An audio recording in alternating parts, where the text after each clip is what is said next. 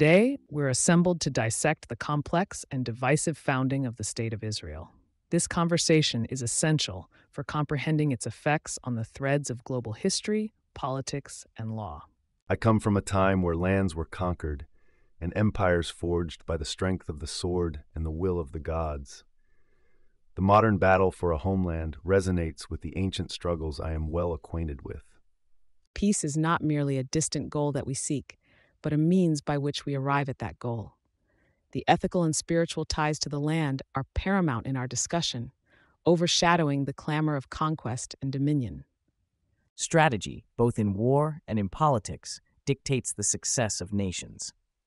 The British maneuvering through the Balfour Declaration and their mandate in Palestine is a fascinating study of empire's enduring influence. In my reign, diplomacy was the art of balancing power with grace.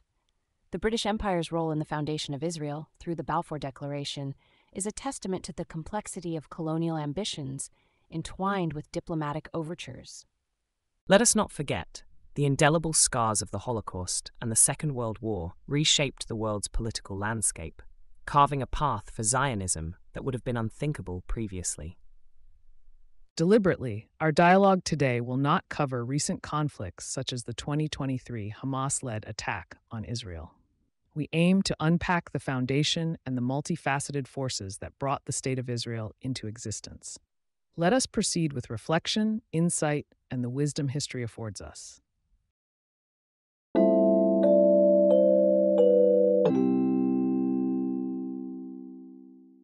Let us commence our dialogue on the historical claims and ancient ties to the land that is now Israel.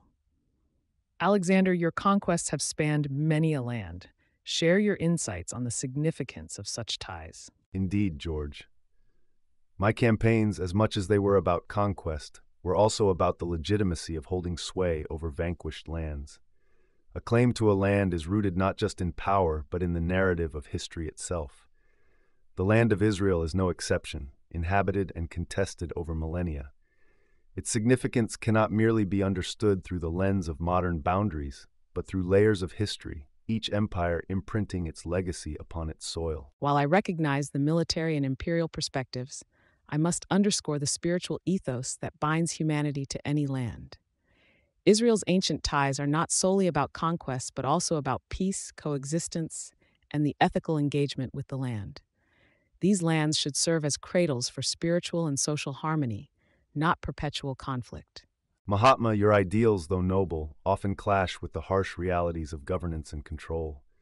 History is written by the victor, and land ties, however ancient, are solidified by might and strategy.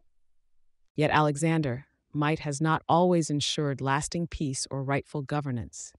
True victory lies in winning the hearts of people, in ensuring peace and ethical stewardship of the land. Intriguing points, gentlemen, but let us not forget the very essence of claims to any land is shaped by its history of governance and the laws laid down by its rulers.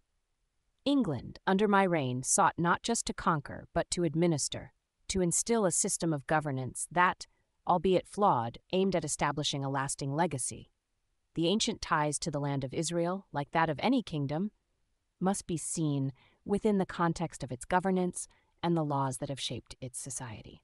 Elizabeth, while your point holds merit, governance alone does not encapsulate the entire essence of a land's significance. Rome's expansion, much like Alexander's, was as much about the people and their cultures, religions, and laws as it was about our Senate. The complexity of Israel's claim lies not just in its ancient governance, but in the amalgamation of its people's beliefs, their struggles, and their endurance through time.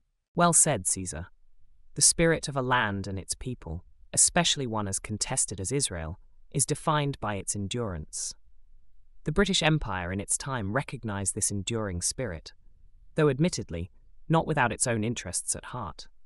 The historical claims and ancient ties to the land of Israel serve as a testament to the resilience of its people, a resilience that has shaped the geopolitical landscape even to this day. Your insights illuminate the multifaceted nature of Israel's founding, a tapestry of military conquests, spiritual significance, governance, and the unyielding spirit of its people. The land's history is as much a battleground of empires as it is a confluence of cultures and faiths.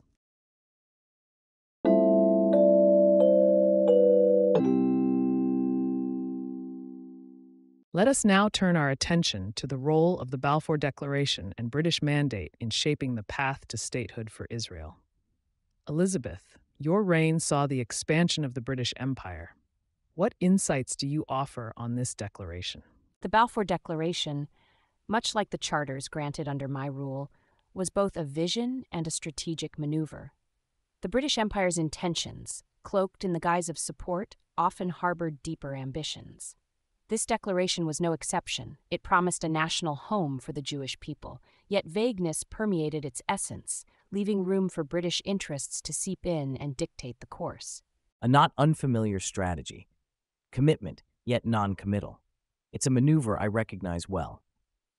The Roman Empire often pledged support only to entangle the benefactor into our sphere of influence. The British Empire's motives likely aligned more with geopolitical strategy than altruistic support for Zionism. Control of the region held paramount importance, not the destiny of the Jewish people. Control, strategy, empire, the same pillars that guided my conquests. The land in question has always been a crucible of civilization, essential for control over the eastern Mediterranean. The Balfour Declaration, thus, is not merely about granting land, but about asserting dominance, masked as benevolence a tactic as old as time. Yet, amidst these discussions of strategy and dominance, where is the consideration for the people? The spirit of the Declaration could have paved the way for peace and cooperation. Instead, it became a harbinger of conflict, manipulated by imperial interests. True support for self determination cannot be conditional, nor serve as a chess piece in global politics. One must understand, Mahatma, that the world stage is dominated by nations seeking their advantage. The spirit of any declaration is subject to the whims of power. The British Empire acted within the parameters of what it deemed best for its interests, much like any sovereign entity. And yet, the wisdom in solidifying such a declaration lies in the foresight of its impact. The British, much like the Romans, understood the value of legacy and influence. Crafting the future of a land as pivotal as this through a seemingly benign declaration showcases imperial acumen.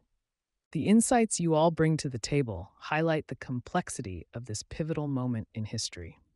The Balfour Declaration and British Mandate indeed set the stage for the eventual founding of Israel, but did so amid a web of imperial ambition, strategic interests, and the timeless struggle for sovereignty and self determination. This delicate balance of power and principle is a cornerstone of our discussion, reflecting the nuanced path that led to the establishment of a new state amidst ancient lands.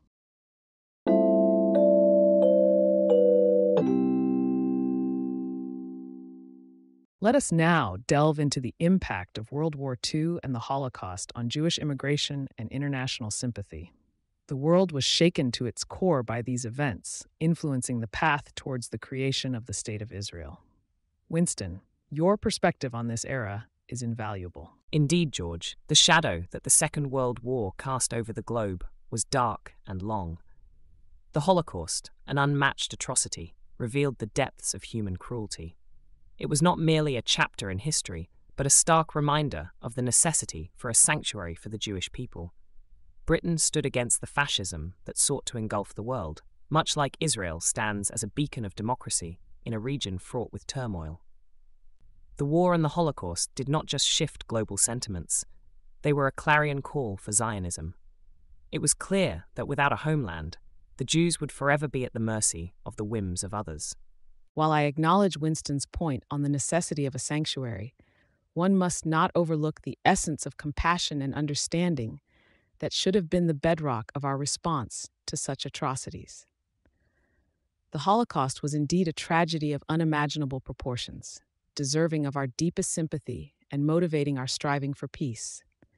Yet the manner in which the sanctuary was established, displacing others in the process, was not in keeping with the principles of nonviolence and mutual respect for all peoples. Could there not have been a path to safety and security that did not involve the suffering of others. Mahatma, your ideals, though admirable, sometimes stray from the harsh realities of politics.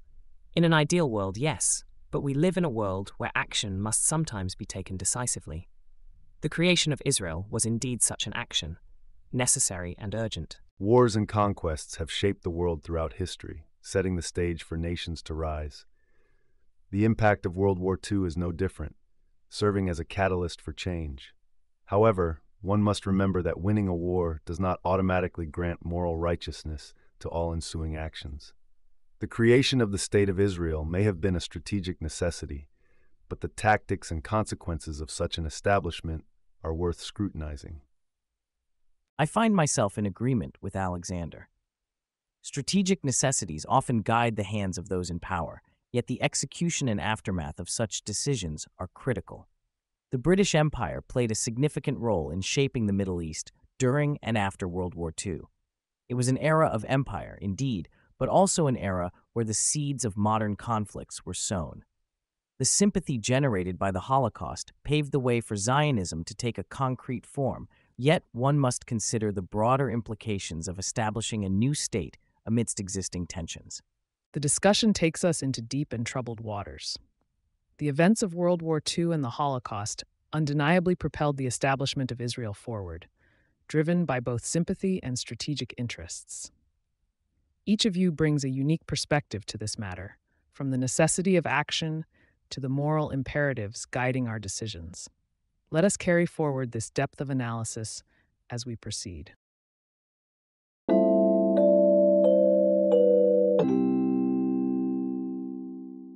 Let us navigate the intricacies of the UN partition plan. Its proposal, opposition, and perhaps its reluctant acceptance mark a cornerstone in our discussion. Elizabeth, your insights on diplomacy during such tumultuous negotiations could illuminate much. Indeed, George. The art of diplomacy requires a balance of iron will and velvet glove. The partition plan was no exception, embodying a titanic struggle of political wills. It hinged on not just the agreement of those directly involved, but on the broader consensus of the international community. Convincing the world to partition a land with such a complex history was a task Herculean in nature. My tenure taught me that achieving consensus is akin to conducting an orchestra where every instrument plays a different tune. Yet the melody of peace must emerge triumphant. Elizabeth speaks of consensus as if it were the ultimate goal. In my time, land was claimed by right of conquest, not by committee. The idea of partition might have served its immediate purpose, but it was the seed for further discord. Strategy dictates that lasting peace comes from decisive victory, not compromise. The proposed partition was, in effect, an acknowledgement of impasse, not a solution. Alexander, your view might hold in the conduct of war, but we are discussing the sutures of a wounded history. The UN partition plan, for all its faults and ambitions, was an attempt at healing, an acknowledgement that both parties hold legitimate claims and that coexistence was a possibility worth exploring. True, it was not perfect, but what human endeavor is. The path to peace always lies through dialogue, not through the silencing of cannons alone. And yet, Mahatma, history often remembers the conqueror, not the conciliator. Alexander espouses a simplistic view, reflective more of brute force than of the subtle dance of power. The truth lies between his conquest and Mahatma's conciliation. The partition plan was a necessary maneuver in a world wearied by war. It was an attempt to redraw lines not just on maps, but in the hearts of men. Strategic, yes, calculated, certainly, but also a gamble that the future might be swayed by the pen as much as by the sword. A gamble, Caesar? More like a forlorn hope, perhaps. The aftermath of the Holocaust left the world with a moral imperative to act, yet the path chosen was fraught with peril from the outset. The best intentions of diplomacy can sometimes pave a highway to conflict. I commend the effort to establish a Jewish state as a sanctuary, yet I'm acutely aware of the tensions such decisions ignite. A state is not handed on a silver platter, as it were. Immediate consequences, indeed. Your passion underscores the gravity of the decisions made during those times. The proposal and opposition to the UN partition plan reflect the deeply ingrained conflicts and hopes of an era. It's clear there's no singular path to peace or statehood, and the lessons here are as complex as they are profound. Let's carry these insights forward as we delve deeper into the unfolding story of Israel's founding and the conflicts that ensued.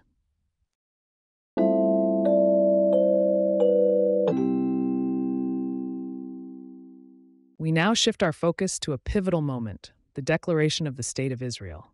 Its immediacy and international ramifications are our concern. Julius, your perspective on the boldness of this declaration would enlighten us. A bold stroke, indeed, not unlike crossing the Rubicon.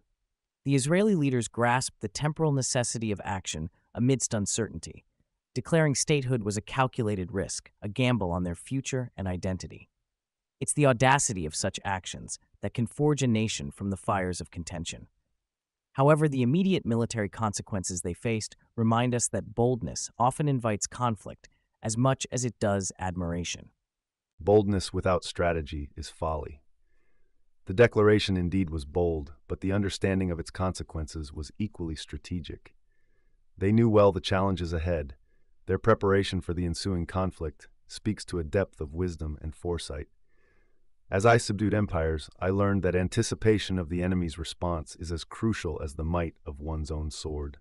One cannot understate the spirit this declaration embodied. In the darkest hours, what do we have but our resolve to carry us through?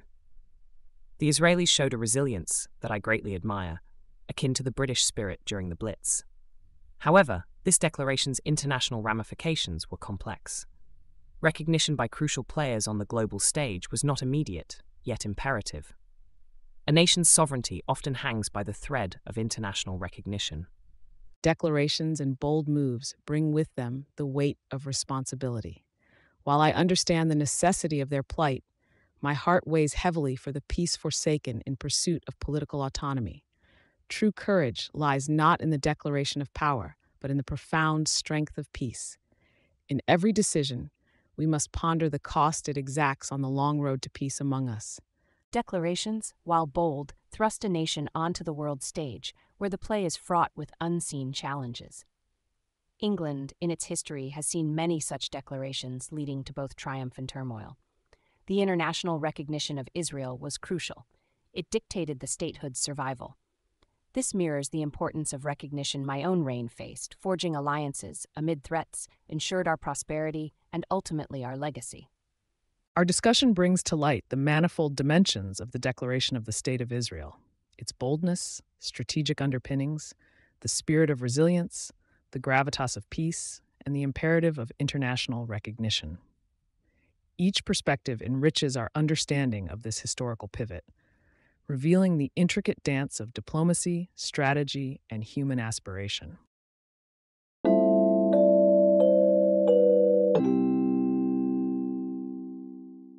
Let's delve into the Arab Israeli War of 1948.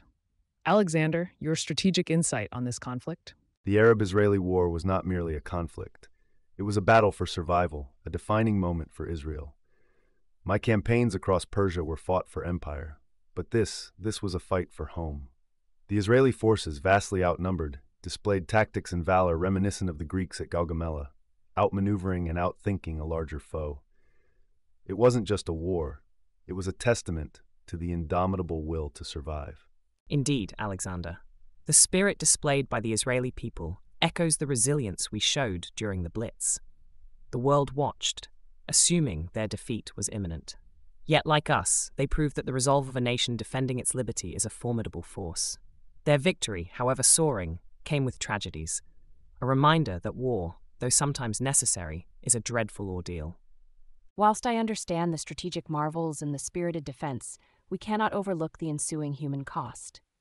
The displacement created a wound that festers to this day. A solution must seek to heal, not merely to win. Elizabeth speaks wisely. War leaves scars on the victor and the vanquished alike. In my experience, true victory lies in resolving conflict with an eye towards future peace, not deeper division. The creation of Israel, while a testament to the indomitable human spirit, also reminds us of the importance of coexistence and understanding among nations. Strategies and tactics aside, the Arab Israeli war underscores a crucial aspect of statecraft the weight of decisiveness. The leaders of the new state of Israel made calculated, bold decisions. In politics, as in war, timidity seldom breeds success. The outcomes of 1948 shaped the Middle East, illustrating that the actions of a moment can echo through history. Caesar, decisiveness without wisdom is recklessness. The true art is in knowing when to strike and when to parley. The state of Israel was born not just from the decisiveness of war, but from the strategic foresight in navigating the geopolitical landscape that followed. As we debate the merits of action and strategy, let us not forget the sheer human will, the determination to forge a nation from the crucible of conflict. This war, like any other, teaches us that the courage to stand firm in the face of adversity is often the cornerstone upon which history is written. This discussion highlights the complex interplay of strategy, humanity, and statecraft that defines such pivotal moments in history. The founding of Israel and the Arab Israeli War of 1948 serve as reminders of the enduring impact of these principles on the world stage.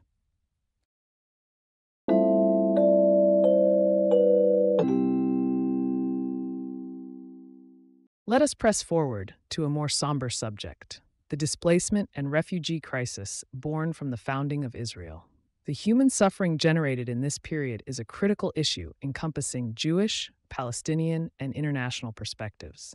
Mahatma, I believe your views on reconciliation and the ethical treatment of all individuals, regardless of their nationality, could illuminate this dark chapter. Indeed, George, the partition of India, much like the establishment of Israel, created unprecedented refugee crises Millions were displaced, their lives overturned by the strokes of political pens. It's imperative we understand displacement not just as a political inconvenience, but as a profound human tragedy. Reconciliation and peace are the only cures to such deep wounds, but these can only begin with recognizing the humanity and the rights of every individual affected. But surely you recognize that political realities often dictate a sterner approach? My reign was plagued with challenges to the crown, and I was often forced to make decisions that were harsh, yet necessary for the survival of the state. A state that does not prioritize the well being of all its people, Elizabeth, is no state I would call just. The strength of a nation lies not in its ability to wield power over the disenfranchised, but in its capacity for compassion. Compassion, Mahatma, is a luxury on the battlefield. My campaigns expanded the known world, often displacing populations. Yet, this was the price of empire, of progress. The founding of Israel, much like the creation of my own Hellenistic states, was an act of conquest and ambition. Some would say a necessary evolution. Let us not romanticize conquest, Alexander. The British Empire, for all its might, learned the hard way that dominion over others comes at a stark cost. The refugee crisis you mention, Mahatma, and you too, Alexander, speaks to a failure not just in diplomacy, but in humanity. The creation of Israel was a miraculous testament to the resilience of the Jewish people, but the cost was high for everyone involved. High costs are the currency of empire and statehood. Rome did not shy away from displacing entire populations to ensure the security of the state. Yet, it is the duty of the victor to establish order and ensure the prosperity of the new state. The plight of refugees, while tragic, often necessitates a firm hand to stabilize a nascent country. It appears then that our views on leadership greatly diverge, Caesar. Prosperity built on the suffering of others is no prosperity I would embrace. The moral fabric of any society is tested in how it treats its most vulnerable, not in the might it can project. It seems that the heart of this discussion lies in the balance, or rather the tension, between the needs of statecraft and the demands of human compassion. The founding of Israel, and indeed the broader conflict it exists within, serves as a profound case study in these forces at play. Each of your perspectives offers a unique lens through which we can examine these issues. Let us carry forward this deep consideration as we move to our next topic, which delves further into the geopolitical shifts post 1948.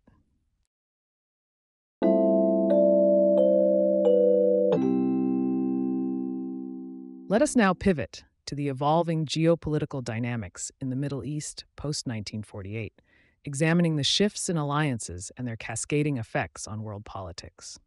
A state, much like an army, must be flexible in its alliances, reshaping them as the landscape of power shifts. The Middle East, fertile in conflict and ambition, has been a chessboard where the pieces constantly move. American involvement, I believe, was an inevitable consequence of the vacuum of power post war. In my conquests, I saw firsthand how vacuums invite strong powers to intervene. Absolutely, Alexander, but let's not oversimplify. American engagement in the Middle East was not just about filling a vacuum, it was a calculated move in the broader Cold War context. Balance of power, a concept well known to us, dictated their strategy. But unlike your direct approach, Alexander, the Americans and Soviets maneuvered through proxies, a less honorable but equally effective method of empire building. I must interject. The notion of honour in war and politics is a quaint one, Caesar. The British Empire, at its zenith, played the game of alliances and political manoeuvring with a certain finesse. Yet, the situation in the Middle East was a different kettle of fish. Post 1948, it wasn't just about power, it was also about ideology, about setting a new world order against the backdrop of decolonization. While I concur with your insights, gentlemen, let's not ignore the role of diplomacy and the changing dynamics of international law. The foundation of Israel and subsequent U.S. involvement signaled a shift towards a more intertwined international community, where state actions were scrutinized and impacted by global public opinion and newly formed international institutions. Friends, amidst this discourse on power and strategy, let us not overlook the human element. The emergence of Israel and the shifts in power dynamics in the Middle East are not merely a game of thrones, but a deeply human issue involving displacement, suffering, and the quest for self determination. Our strategies and maneuvers on the global stage have profound implications on the lives of millions. The goal should be peace and coexistence, not merely the expansion of influence. An astute observation, Mahatma, that brings us back to the essence of governance and statecraft, serving the people's interests. The post 1948 geopolitical shifts certainly set the stage for decades of conflict, but they also opened dialogues for peace and reconciliation. The complexity of these issues underscores the need for a nuanced understanding of history, alliances, and human aspirations. George, while your call for nuance is well taken, we must not shy away from acknowledging the reality that geopolitics often involves choosing between lesser evils. The decisions made by the U.S. and other powers in the aftermath of Israel's founding were not without cost. But in the grand tapestry of statecraft, the pursuit of stability and order often necessitates hard choices. And as history has shown us time and again, it is those hard choices that carve the path of the future. The Middle East story post 1948 is one chapter in a long saga of human civilization's struggle for power, identity, and ultimately peace. Whether we find it depends as much on the leaders of today as it did on us. A fitting end to our discussion on evolving geopolitical dynamics. The region's history post 1948 has indeed been marked by struggle, conflict, but also by significant efforts towards peace. Such discussions remind us of the ongoing impact of history on current events and the importance of leadership that prioritizes the collective good.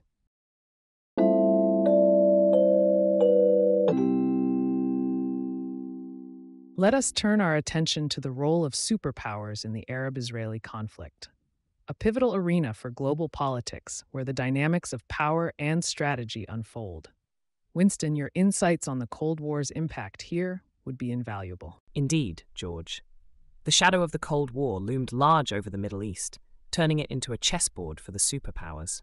The United States and the Soviet Union, in their quest for global dominance, found fertile ground in the region's turmoil. It's similar to our stand against the Axis powers. One must choose sides, or the side chooses you. The Arab Israeli conflict was not just regional, but a proxy for broader ideological warfare. Power struggles are as old as history itself. My empire stretched from Greece to the fringes of India because I understood that power vacuums invite intervention. The superpowers saw a vacuum in the Middle East, and they filled it with arms, with aid, with ideologies. It's a game of thrones, but on a global scale. The superpower's involvement is a calculated move, much like my own expansion into Gaul. It's about securing your flank, expanding your influence. The Middle East is strategic. It's not merely about supporting one side or the other. It's about ensuring that your interests are advanced. The Romans understood this. The superpowers understand this. It's timeless strategy. Yet we must not lose sight of the human cost of these political games.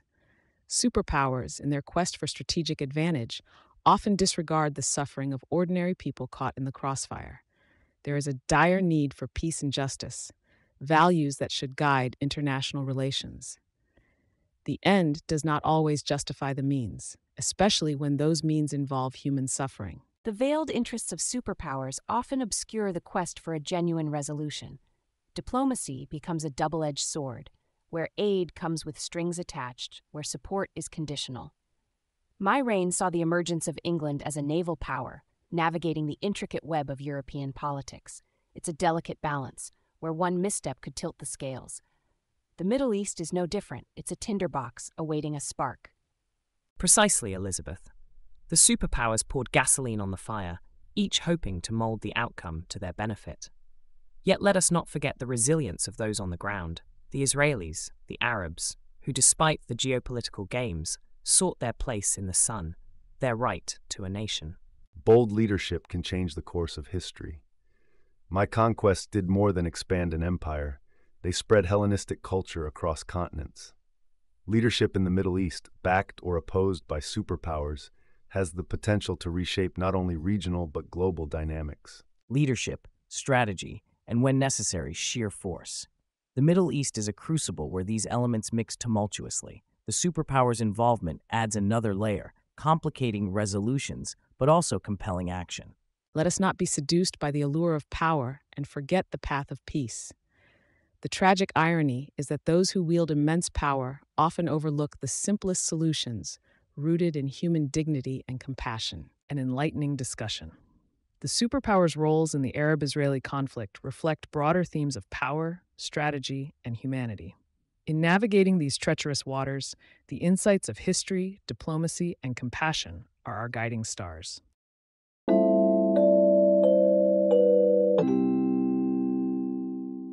So, we find ourselves deep in the heart of the issues surrounding state sovereignty and international law, influenced by the founding of Israel. Caesar, your reign saw the expanse of Roman law. How do you see these historical principles applying today? The cloak of sovereignty, George, is a heavy one. In my day, Rome's word was law, our borders grew with our might. Yet the Israel model suggests a conundrum statehood born not merely of conquest, but of international consensus and moral legitimacy. Today's world, crammed full of treaties and declarations, often forgets that might, though less pronounced, still whispers the old truths. Sovereignty is taken, then recognized. Israel's birth was both a claim staked and a claim acknowledged.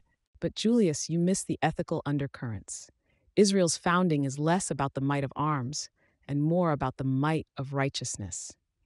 After the immense suffering of the Holocaust, the establishment of Israel was a moral imperative. The world saw it fit to recognize a homeland for a people long persecuted.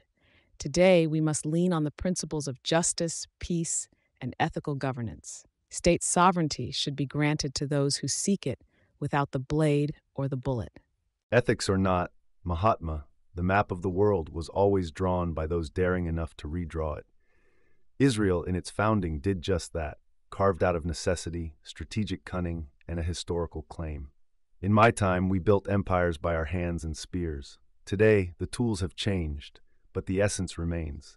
The right of a state to exist, to claim sovereignty, is as much a matter of power and politics as it is of international law. Yet, the effectiveness of international law and the consent it requires is a fragile thing, built upon the common agreement of countries to abide by it. The founding of Israel tested these waters deeply, setting a precedent. It was a moment when international law was shaped by human empathy and by the collective will of nations to mitigate historical wrongs. It should serve as a reminder that the law is only as strong as our commitment to uphold it. Commitment to the law, indeed, Elizabeth. But let's not be naive. The world stage is not a moral high ground, but a battleground of interests. Israel's declaration and subsequent recognition were as much a victory of diplomacy as of moral arguments. In the end, state sovereignty and international law are dictated by the reality of circumstances and by those with the resolve to mould them. As was with Britain's stand against tyranny in my time, so was Israel's against oblivion. The future, then, Winston, as you suggest, is forged by those who dare to shape it. Israel's founding echoes a truth as old as civilization itself adapt or perish. In this light, sovereignty is dynamic, a product of the times, shaped by those bold enough to challenge the status quo. We must endeavor, however, to ensure that this boldness is matched with a vision of peace and justice.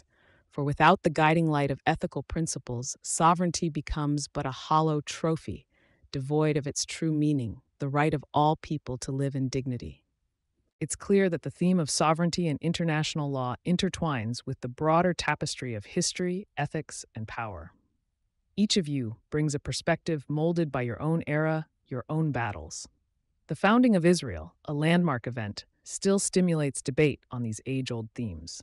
As we look to the future, history shall be our guide, yet the path remains ours to choose.